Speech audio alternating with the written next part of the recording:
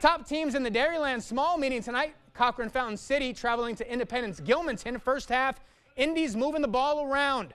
Number three, Arabelle Kinsley, good for three. Home team with the early lead. Pirates looking to get their offense going. Emily Mann pulls up for the 12-footer in the lane. There it is, just like that. CFC up by two. Indies keeping the pressure on, though. A couple passes. Shauna Desno puts it in from under the hoop. It's all tied up. Pirates starting to find a groove, though. Mackenzie Wenger passes the ball off, gets it back, connects for the triple. Visitors take a five-point lead. Tight one all the way, but CFC wins it 47 to 42.